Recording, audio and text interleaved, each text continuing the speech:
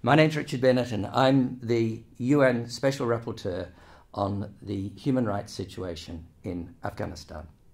So, what is a Special Rapporteur?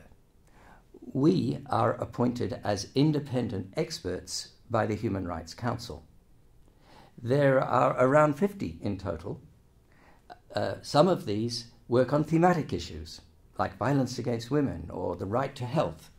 Others work on geographic issues. And of course, I'm appointed for Afghanistan. We are independent experts who undertake assessment, analysis, advocacy, support, fact finding, documentation, and a range of other issues, and we report to the member states. I have to make reports to the Human Rights Council every year and to the UN General Assembly.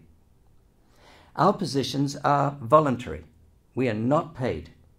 And that is to preserve our independence. We are not staff members of the UN, we are independent experts. And in my case, I'm based at the Raoul Wallenberg Institute that provides me with support, and in turn, I hope through my role, I'll be able to contribute to the Afghanistan program at RWI.